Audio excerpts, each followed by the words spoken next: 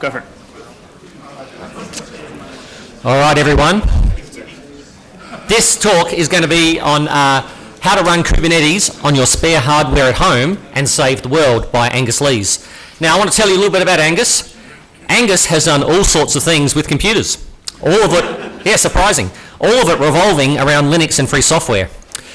He was search on call during Google's second biggest web search outage. Did you course it though? No, that was the malware adage. Everything got marked as malware. That was a fun weekend. yeah. Gus has driven through the Great Sandy Desert to install Linux two-way satellite routers on poles. He uploaded one of the first native apps to the Android marketplace, ScummVM.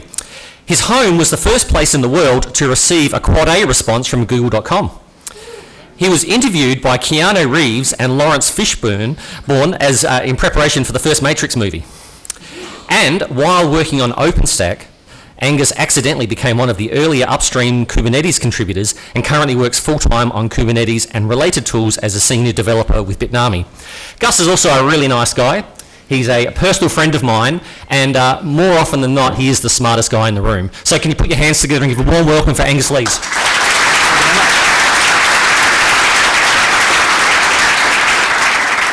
Yeah, it's um, a little bit of a funny story, mostly an accident.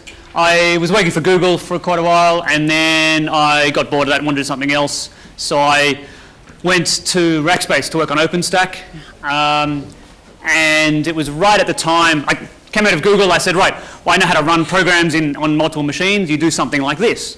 And then I wanted to learn about OpenStack, so I from, from a distance, OpenStack looks like a similar set of problems. It's a bunch of Python web servers that talk to MySQL databases. And I was like, well, I know how to run a bunch of programs uh, on multiple machines. You do something like this.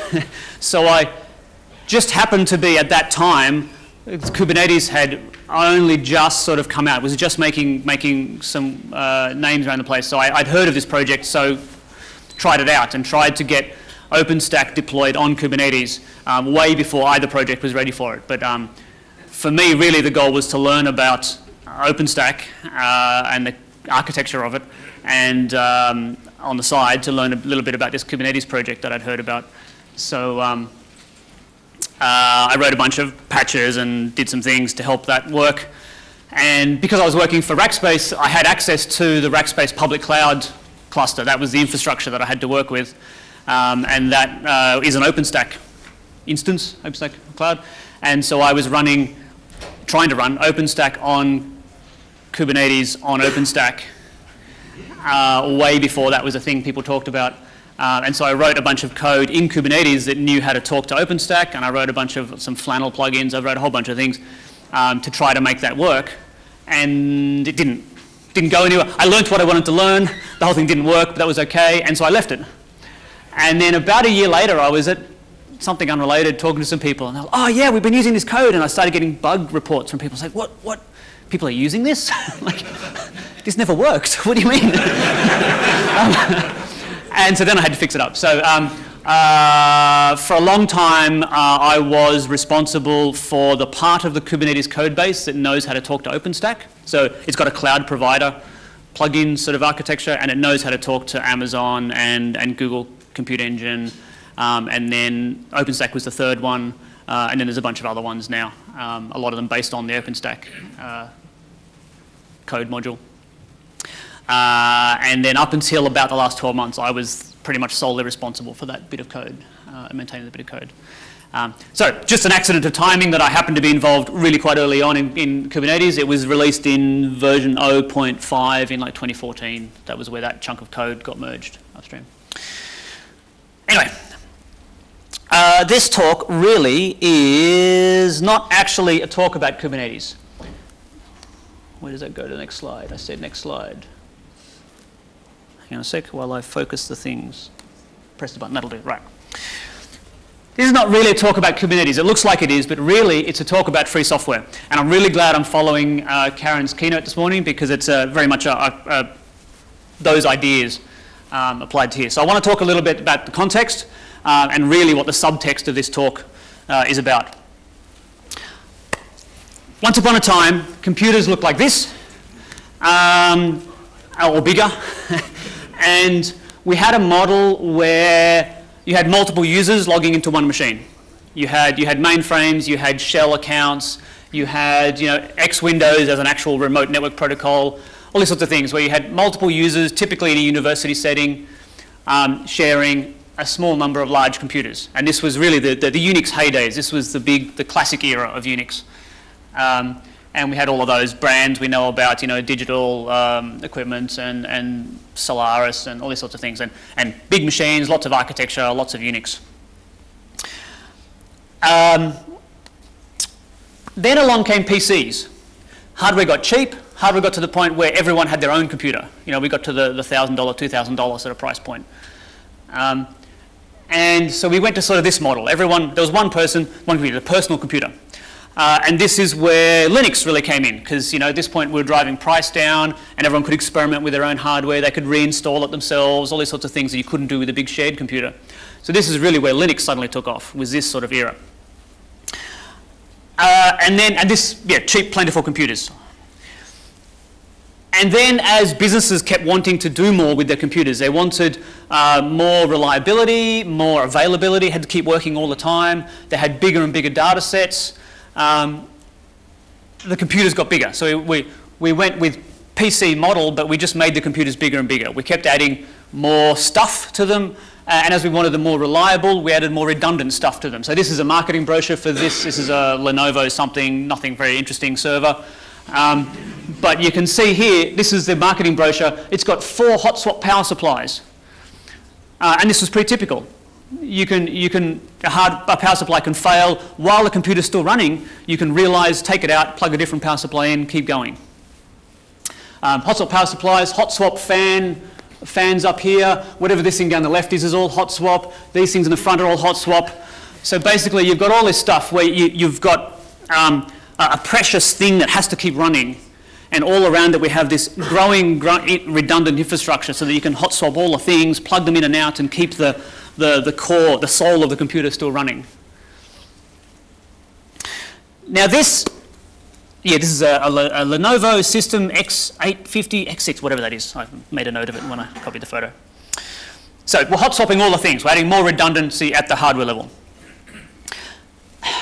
This worked okay, but you still got a problem. This, this still might fail. Doesn't matter how many things you put in there, you still got to deal with the case where this breaks. There's still going to be a fire. Like if one of these catches fire and fills the chassis with smoke, it's, it's not going to come back. Um, if, if it's in a rack and if the whole rack loses power, it doesn't matter how many redundant power supplies you had at this level. If it's in a building and the building has a fire, like you've still lost that whole, that whole set of computing equipment. So you still have to deal with the case where that fails.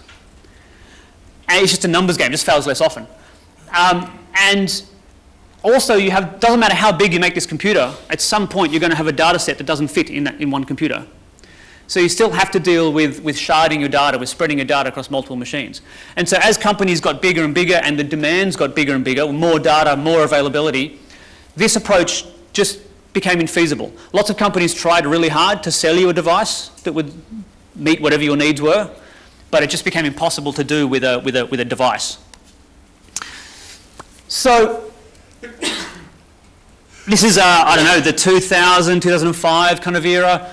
Um, uh, we used to call it grid computing um, a long time ago. I remember that term coming out, where we had loosely coupled machines. They weren't the Cray supercomputers, they were now loosely coupled machines that could fail separately without affecting each other. They weren't doing shared memory, they weren't doing, um, what do they call it, MPI? I can't remember what it's called. What was that thing where we used to do shared memory across machines to do um, distributed computing? Uh, they, they were much more loosely coupled, much more independent from each other. And this allowed us to scale really large. So we had to deal with these problems anyway, large data scalability um, and, and hardware failure. And so once you've written software to solve those problems, you no longer need really uh, redundant, expensive hardware. So we kind of flipped. We went from putting more things into, into this precious box to doing the opposite. The boxes are now not important at all, and we've got clever software. Um, Google was a big player in this. Google really took this approach and ran with it. Um, uh, but so did other people, it wasn't just them. Part of this was we developed a whole set of new building blocks. We used to kind of use these ideas on the left. We used to have libraries. We used to have in-process linking things in. Now we were talking of the network. We now had microservices. We had remote procedure calls. Uh, now, when we talk about APIs, I think it's funny. People talk about API and they just assume that means a remote API now. Um, uh, these sorts of, particularly the key value stores and object stores, these became really important building blocks. Um, and this, traditionally we'd use uh, something featureful like a SQL database, you know, Oracle database or MySQL, um, Postgres. And that, that idea of transactions and, and a table schema and things, they're very attractive features, but they're very hard to do at scale. So instead, when we go to the big scale computing, lots and lots of machines, we break that really into two separate camps. One has, has coherent uh, atomicity, and that's the key value stores. So I can put a value in and I can get it out again, and that's about all. That's, that's the only feature it offers. I can't do a search, I can't do indexing. I put, put a thing in with a key and I, get a, I, and I get the value back again later on, but it's reliable. It's spread across multiple machines. It uses Paxos or Raft, um, and it's very good at dealing with put a value in, get a value out, and make sure you don't lose that data anywhere in the, in the, in the process along the way. And then at the other scale, we have object stores, which are, you know, uh, S3 is a big Amazon one everyone knows about, um, but lots of others. Um, and they are dumb and simple and scale to ridiculous sizes because all they do, I store a thing, I'll probably get it out again later on, probably not straight away because there's lots of caching and stuff going on. Very, very relaxed consistency guarantees. Um, it's really all just about scale. And you couldn't do this with things like NFS before. Um, NFS uh, and, and traditional file systems generally have these ideas where I can write to a file, close the file, immediately open the file, and expect to see that thing I just wrote, which is quite a reasonable statement to make. but, but at a certain scale, that becomes really hard to guarantee that kind of read after write. Um, so object stores are very relaxed. They don't, you don't necessarily get that behavior. Um, so these new building blocks that allows us to scale really large. And, and even to the point where whole um, administration practices changed. So uh, we no longer talk about uh, in place, I don't SSH in and, and, do a package upgrade. Instead, I replace the whole machine because this is an, this is an absolute statement of what should be on, on the disk. And I, my, my, machine never deviates from that because it's always, boom, that's exactly what's running on that server. Um, and if I want to upgrade it, I, I, effectively delete it and replace it with a whole other version. So I always know what's on there. And if I've got a thousand machines in my data center and I'm using this approach, I can say every single one of those machines is running pretty much bit for bit that image. Whereas if I'm using this version, the older, sort of smaller scale version, it's easy to get deviation. And uh, I know quite know if that machine was offline at the time that I upgraded all the others and then it comes back, and then I do a following on upgrade, I'll no longer quite know what's running on there. It's some slightly different combination of upgraded packages. So whole, whole practices, administration practices also kind of evolved with this. So this is, this is a big change, big industry change. And of course, now we have data centers that look like this. This is a you know, typical Google um, picture of the Google data centers. Lots and lots and lots of machines. And the machines themselves are so unimportant, these don't even have cases on them. They certainly don't have redundant power supplies. If you're in a Google data center, you don't even turn on uh, um, journaling on your file system. Right? All you're doing is, is if you've got a, a journal, you're just doubling your writes. And yet the data, if the data is only on one machine, it's not important. So who cares about doubling my writes to save one copy of data? Like that's not where my redundancy is. My redundancy is at the, the object store level, the, some, right? It's already spread across multiple machines. Um, I, I, upset people a lot by saying, well, can we turn this server off? Yes, of course you can. Just turn it off. But what if it's important? Ah, if it's important, it's not on one server. um, so we've kind of gone back to this model now. We have one corporate user who's now using multiple machines. So we've kind of gone this whole spread of multiple users using one machine, user per machine, and then we've kind of gone the inverse version where we have multiple cheap computers, PC class computers, because they're the cheapest you can buy, and we have uh, effectively one corporate user, although that might be something like Google that then, or Amazon that, that on-sells that. So this is sort of the evolution. This is the, the background that's happened here. Now, the software we write at home, the, the, the, the, free software, the, the scratch your own itch software, it kind of got stuck back in that Linux PC era. We still write software. If you look at most of the things that are packaged in a, in a you know, Debian distribution, most of that software is still written using those old building blocks. It's still reading and writing local files. It still has a setup process that involves running multiple steps, sort of interactively. Um, we have all those building blocks on the right-hand side in, in the free software world, but they're not used very much. They're used by the software that we write at work, the free software write at work. So, so when I go to work every day, I spend most of my time, well, working on Kubernetes, but, but I'm working with key value stores, I'm working with um, object stores, this sort of structure, this architecture of software that I work on in my, in my eight hours of work free software. And when I go home, my eight hours, I wish, of, of home free software, I'm writing traditional, like real, you know, 1970s era architecture software. And this, I don't know, I, I feel like this is getting worse. Like, it's, it's a success problem. We have lots of wonderful free software that we can work on at work now, but it's different. And it's diverging more and more, I feel, from what the kind of the home, the, the, the actual sort of classic free software. Um, and this I feel this has a lot of effects, and I, and I had trouble putting words around this. Um, so I'm really happy I'm following um, the keynote this morning, Karen Sandler's keynote, because she did a much better job articulating what I was trying to say here. Um, there's a bunch of flow-on secondary effects from this, which I feel in the long term are, are a problem, are an issue. It's, it's, and it's partly a success problem. It's wonderful that we can go to work and work on open source software at work. But the fact that now we've got two camps of open source software and that the one that has a lot of the, the resources behind it, being the eight hours of, of workday, um, are going off in a direction that's a little bit different. It's kind of, and the, the features that we're getting as a result are different. So we're seeing more Apache rather than GPL, for example, because companies tend to be nervous about GPL and tend to be pro Apache so now a lot of projects are, are Apache-based, and there's a decreasing number, I feel, of GPL-based software now.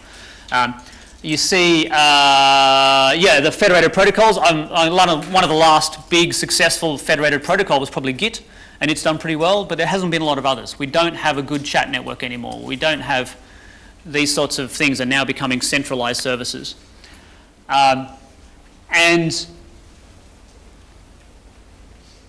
there's a number of things, a number of problems that free software has typically been good at solving, um, but it's very hard to put a business case around. It's very hard to turn into money. So when you ask a company to choose what projects they're going to work on, what open source projects is this open source friendly company going to work on, they're slightly different projects to what you would work on if you're at home without a profit motive.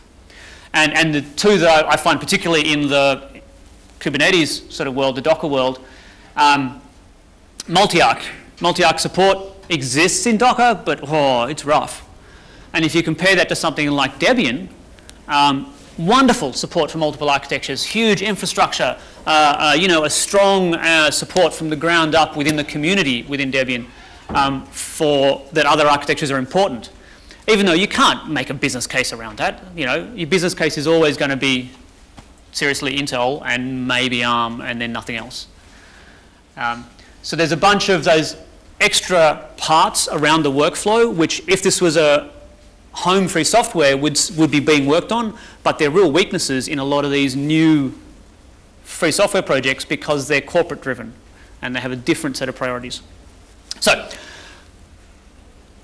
anyway, so this is kind of where we are. So there's, uh, this, this is gross oversimplification, this slide, but it's kind of trying to just this is where I'm thinking uh, about where we're up to with this. We have a bunch of um, challenges in, in the software space that, for, for a variety of reasons that work free software architecture, those, that new world, that cloud native architecture, never quite caught on at home. And so we have these two diverging camps of, of free software. Um, and then this leads to a bunch of secondary, kind of difficult to put your finger on issues. Um, and so this is where my thinking was at. So this is kind of the historical context. So I'm in this world, I'm looking at this going, ah, it'd be nice if there was some way to unify this and bring it all back together. And uh, I remember having a discussion with um, Josh Hesketh uh, quite a few LCAs ago uh, about maybe coming up with a new distribution that was all based around as a service. So we were providing free software based um, uh, services over the internet, but we'd run it in like a distribution community driven sort of project. Um, something that we're trying to come up with a way to sort of tackle this problem, this diverging camps. I didn't have good answers. All right, so I want to I to sort of park this this topic, this part of the discussion, and now we're going to talk about, if I can get the next slide. Now we're going to talk about Kubernetes. So I want to park that. I'm going to come back to it. All right. Kubernetes. Kubernetes is a project that came out of Google originally um, as a free software project. Um, it's now owned by uh, an organization known as the CNCF. It's uh, their flagship product, although they have a few other, their project, although they have a few others as well under that banner, um, Prometheus and, and some other things. Um, the name Kubernetes uh, is Greek. It's got something to do with pilot or captain. It's that sort of word. Um, it comes into Latin as gubernator with a G, and then into English there's some quaint words like gubernatorial, if you follow the US elections, and uh, governor um, is a more normal English word. Uh, and also apparently Kubernetes comes through French into cybernetic. So it's actually quite a good, a good word for a computer project. Um, often abbreviated to K8S because it's annoying to type. It is, I like to think of it as Unix process as a service. You give it the things you want to run and it runs it. You give it effectively a Unix process. You say, here's the executable I want to run, here's the command line arguments, here's the environment, um, and it takes care of where and how that's actually going to run. And people get all excited about Docker and containers and what does that mean, and I have to sit them down and explain it's just a process. It's just a forked child process, just like we're used to. When you run something under systemd and it runs that persistent process, if you look at that, and what's running on the host at the end of it, that's pretty much identical to what happens when you run it through Docker. There's no, nothing magic, it's not different, it's not VM layers, it's not more or less stable or more or less reliable, it is just a forked process um, that has, uh, instead of just a chroot, it's, it's done a, a namespace chroot equivalent, but it's, it's really, it's old school Unix. Um, something that Kubernetes brought in is the idea of pods. So when it runs a container, uh, runs a, a, Docker image or one of the Docker equivalents. Um, it doesn't run it in isolation. It can run a group of them called a pod. And Kubernetes guarantees that those containers always run together, always run on the same host, uh, are started and destroyed together. And because they're always running on the same host, they share the same, or they can, they can share file systems, so you can mount a volume into any one of those containers in that pod. Um, and the way Kubernetes sets them up, they're all running in the same network namespace. So they can talk to each other via localhost. They share the same idea of what localhost means. So you can run, a typical example would be to run a, um, a log, so you've got your main Apache server, for example, and then in another container you might run a log fetch or something, uh, process that would pull up the logs from a shared volume and then push it off to your log saving architecture. Uh, yeah, got a nautical theme. All the logos are project names are nautical. Um, now, one of the things I like about Kubernetes is it's conceptually very simple. Um, I have trouble thinking about complicated things, so I try very hard to make, and, and, and I like projects that I can understand, that are simple, can fit in my head. So here's the general idea. We have one API server, or replicas, but this is basically a web server. It's taking in REST, HTTP requests and responses, and it talks, it translates that in, into etcd stores. So you send a put, I want to I want to create an object here, and it turns it into an etcd um, store operation. And then later on you come along, you do an HTTP get, and it turns it into an etcd get operation. Real simple. Uh, and then asynchronously, you have a whole bunch of controllers. And these controllers, they're just loops. They're big loops that go to the, the API server and they say, okay, what's the latest version of this particular object? Right, I'm going to give me, I'm going to look at all of the objects of this particular type, and then I'm going to try to make the world closer to what's described in an object. So I might say I want to run a, a service of this particular name, and there's a, somewhere in here there's a service controller that looks at that and then tries to make that happen. And it's always just looping, trying to make that happen. So it's very fault tolerant. If this it doesn't run right now, or it's crashed, or there's an error, then you can fix it, roll out a new version, and then it'll just start re- where that left off. It'll just look at the latest version and go, right, that's what I should be doing. Try to make the world like that. Um, I've highlighted a few particular controllers here. The controller manager and scheduler are the important ones. They're, they're the ones that are needed to run all the other controllers. Um, and then on each host, you run a kubelet. And it's basically an agent that talks to the local Docker daemon or Containerd or CRI-O server or rkt or whatever technology you're using. Um, and it tells it what to run. But from an architecture point of view, it's just like the other controllers. It's just looking for a particular type of record that the API server is storing in etcd, and it's making that happen. In that case, it's the pod. This pod should run on this host record, and it just makes that happen. Um, etcd, if you're not familiar with it, is a key value store, uh, very much like Consul or Zookeeper. They're the sort of three big free software key value stores. Um, it uses Raft, uh, which is a, an evolution, a, a, re, a rethink of the Paxos algorithm, but is otherwise conceptually very similar. Uh, which just means you can run it on multiple hosts. You store something in there, it stores it on all the hosts reliably.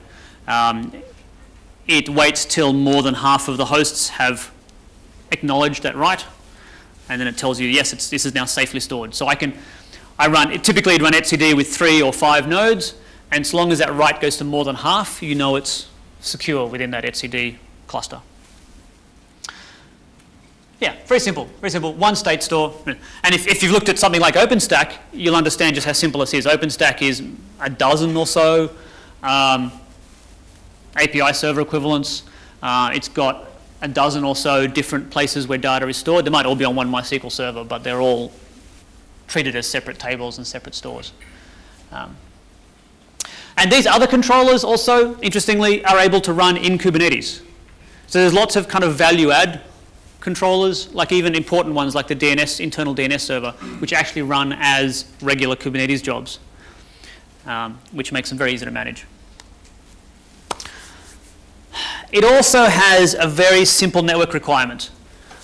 It only wants you to be able to forward layer 3, so, so IP packets or IPv6, uh, from uh, a pod running somewhere on this machine to a pod running somewhere on another machine. Doesn't care how that happens. So there's lots of different ways of forwarding packets. The simplest, of course, is just a simple kernel root forward rule.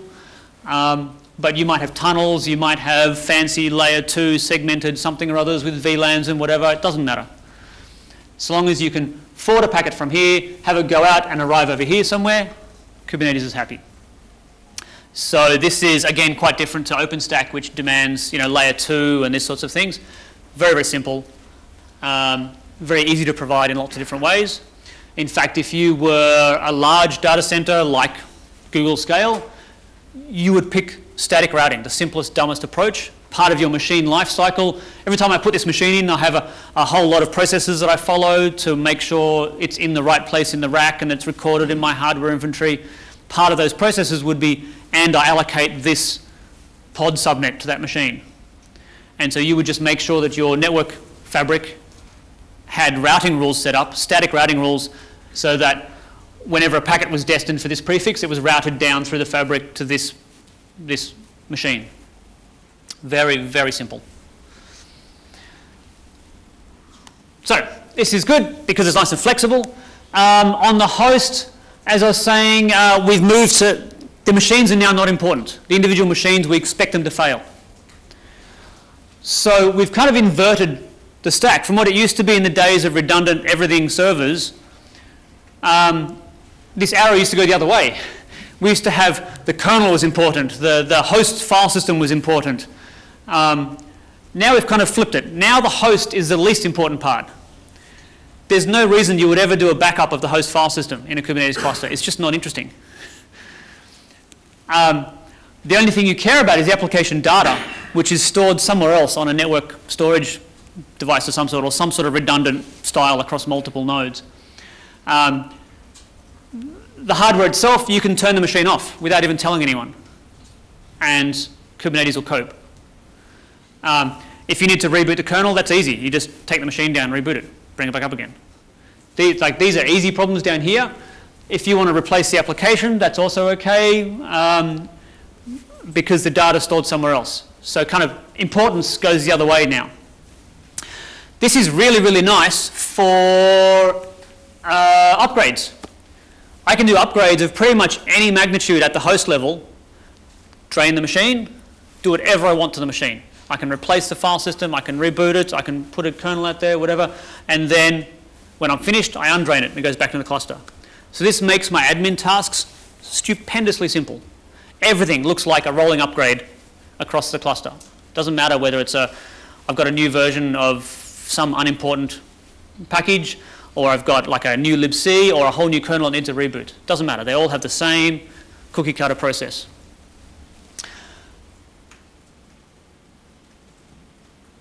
Uh, yeah, and so, um, anyway, yeah, the, it's application focused, so we get the container basically captures the application we want to run. So it's, it's an executable, it's environment variables, it's command line arguments, all those things you think of as application concerns.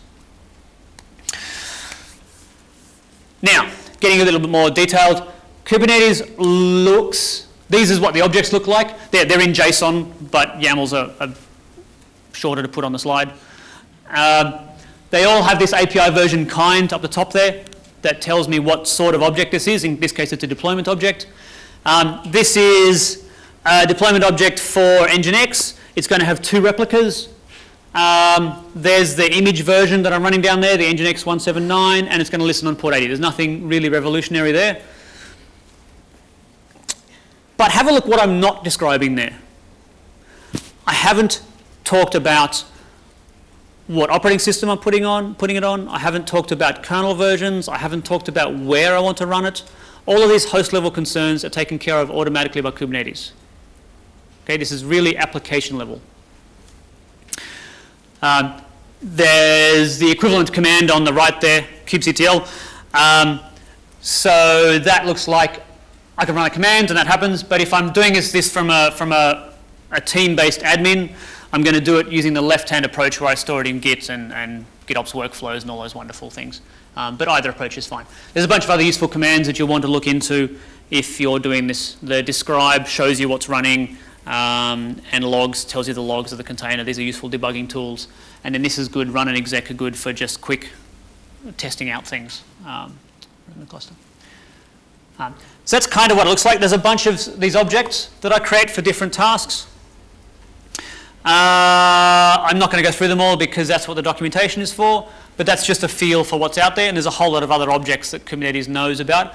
And from that earlier slide, these are all just controllers. Somewhere in Kubernetes is a controller looking for that type of object and making that thing happen when it sees one of them. Uh, and again, I'm not going to go through those in detail. Um, now, at the, at the machine lifecycle level, hardware failure is not an emergency. It, it, boggles my mind in this day. We've conducted this experiment for decades now, and I've got news for you all. The conclusion is hardware fails. um, yes, that's right. And, and I've got some bad news about Santa Claus too. Um,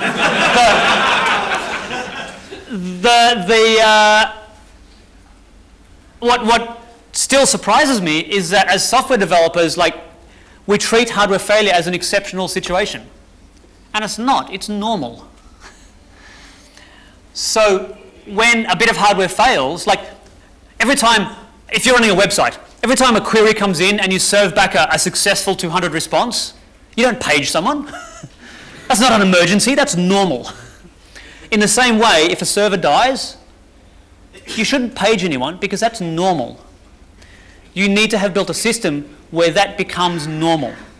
Okay, and Kubernetes is one of the first big projects I've seen in the free software world that makes that possible. We had tools before, orchestration tools, uh, Puppet Chef, Ansible, uh, and other things in that class They were, you ran them once and then they exited. They helped you set up, but then they stopped. They didn't deal with the hardware failure is normal case. Kubernetes, on the other hand, is always actively managing. Because it knows what application I'm running, it's always health checking, it's actively managing them. It knows when they die and come back, it knows to reschedule them somewhere else. So hardware failure, still, you still got to do so, you have to replace the hardware eventually, but it's no longer an emergency. You don't have to get paged for it. You just turn up on Monday at 9 a.m. and go, oh, look, three machines died over the weekend. Oh, better go replace them. It's just part of your regular work now. Um, and as part of that, it separates the concerns. And this is a big deal in co corporate environments you've now got a separate teams can work very efficiently with each other without um, um, stepping on each other's toes. And this brings us back around to the home Kubernetes cluster. So restoring that, that previous conversation about the diverging free software stacks, uh, free software communities. I had this, to be thinking about this problem and uh, think about where we're up to and, you know, oh, I wish there was, I could see some way out of this kind of um, progression. And so I looked at this is this is my little home uh, file server machine at home. And everyone, pretty much everyone here, I'm guessing, has some sort of a RAID set up at home. It's kind of it, it used to be uh, a, a high-powered enterprise feature, and now it's it's a very normal power user feature. If you're, if you're a technically savvy person with some slightly advanced infrastructure at home, you've probably got something like this. And it's so boring and simple and obvious. And I thought, whoa, hang on. Why don't we do the same with compute? The same things, the same reasons that drove companies to follow that model also apply at home. We now have decent hardware that's cheap. We now have uh, the same issues of, of hardware failure and elastic hardware. I want to add and remove machines over time easily. My hardware dies and wants to replace. Like all these same pressures driving it also apply at home. So my idea was let's, let's, let's do this. Let's, let's make a, a distro sort of model. We'll use that separation of concerns approach to get uh, the, uh, a, a, project, a community, a, a distribution idea that's providing the underneath layer and they'll provide up to the Kubernetes layer, and then from Kubernetes up, it's now whatever I want to run at home. Um, and this is actually quite achievable. Uh, and because of this, it's got to be automatic maintenance and easy upgrades uh, have to be very simple, or else it's just not going to catch on. So here we go. I've got a budget of about 100 bucks. That's in the, in the cheap, too cheap to care too much about. And this necessarily means ARM machines um, computers. I need three. For my etcd cluster, I need at least three machines in order to be able to deal with a failure in any of them. And when you multiply everything by three, suddenly you care a bit more about the price. So if I could get a, a NUC device or something there, you know, a cheap Intel device, it's $100, $200 times three, that's actually real money now. So I have to look at ARM class hardware. Uh, I bought Banana Pis because I did this a few years ago, and uh, nowadays I probably pick up Pine 64 or something. Um, but they're about 30 bucks each. That's about the budget. Um, and I assume a home network, assume Ethernet, and then I try to be very normal because I don't want to put much work into it. I want to just draw on what the standard Kubernetes people are doing. So I also have uh, high school age children, um, which means I have to keep buying about $500 price point laptops for them, and they keep breaking them. So I have a growing supply of laptops with dead screens and missing F12 keys. Apparently that was a thing. You'd steal each other's F12 key. Uh, whatever. um, uh, they're all x86 class. None of them are great. Um, and so I'm running CoreOS. I really like the CoreOS model. They've got the AB upgrades, um, automatic upgrades. So I'll download a new one and just flip to the new version automatically. Um, and then my control plane, as I was saying, has to be kind of ARM class. This photo didn't work very well because the LEDs are really bright and it confused my camera. Um, so it's quite dark. I had to turn it up. This is literally a photo of my desk. You can see I put a lot of work into making it neat before taking the photo. Um, there's my three Banana Pis that have my etcd cluster across them, and they're running those, those core Kubernetes jobs, the API servers, the scheduler, and the controller manager.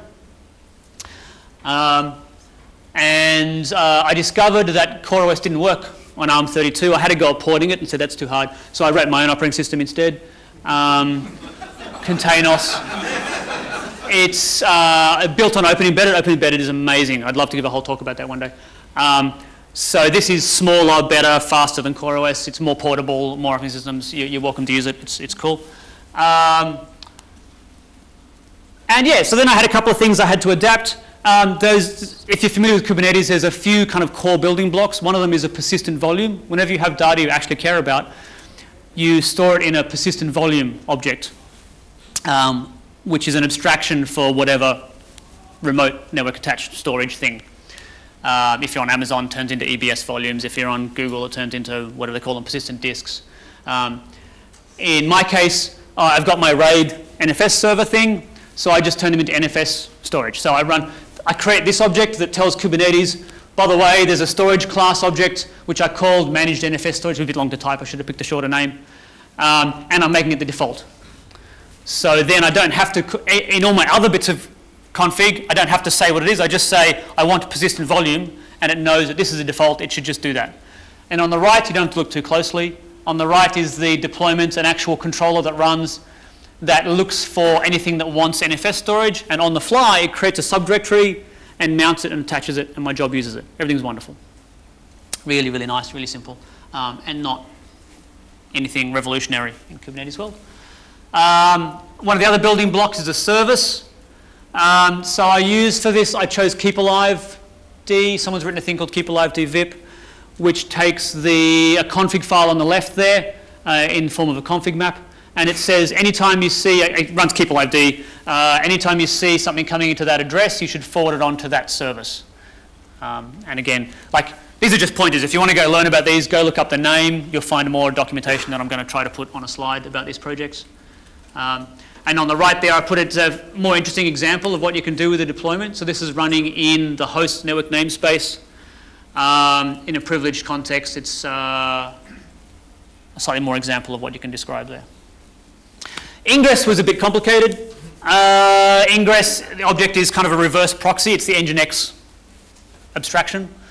Um, I use a combination of keepalived and Nginx, and I've got Let's Encrypt running.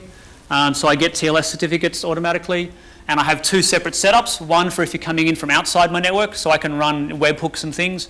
So I have it set up so that I can say, hey, Google, something, something, something, and the Google Assistant will talk to if this and that, which will talk to something else, which sends a webhook to my thing, which comes into my home network via here, which then hits Nginx, which then keepalived, which then Kubernetes, which then, and then it turns my television on.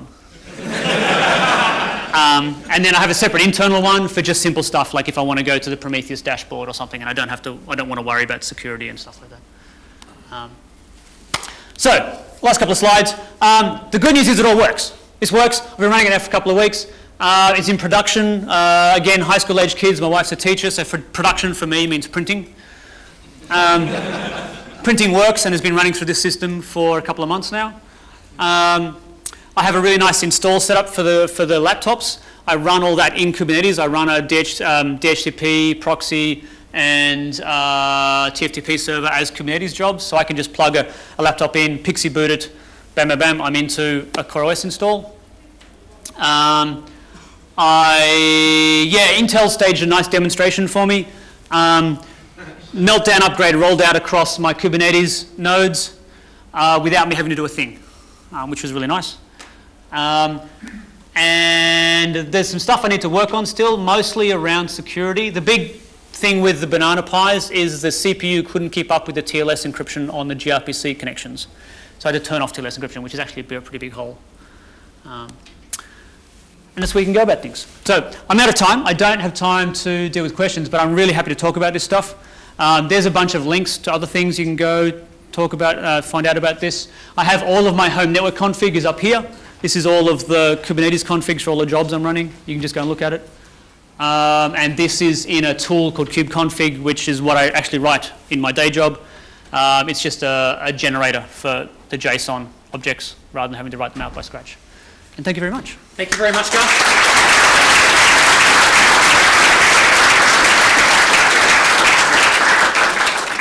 Okay, we have nine minutes, and then our next talk will be in here uh, with Casey Schaufler. So uh, thank you very much. Either stay or leave, up to you. And uh, just be in Hawaiian shirts all week, so Tracy. Around a week, I'm very happy to talk about this stuff, and if people are interested or want to know about next steps or anything like that, um, I'm very happy to talk about it.